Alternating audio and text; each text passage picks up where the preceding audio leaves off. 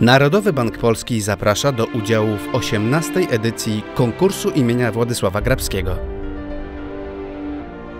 Kategorie konkursowe: polityka pieniężna i stabilność finansowa, finanse osobiste i edukacja ekonomiczna, felieton lub analiza, wywiad, problematyka regionalna. Nagrody 10 tysięcy złotych w każdej kategorii i dwie nagrody specjalne.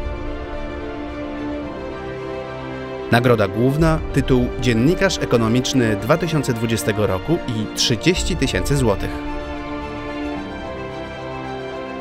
Termin nadsyłania zgłoszeń do 10 października 2020 roku. Więcej informacji na stronie www.nbp.pl ukośnik grabski.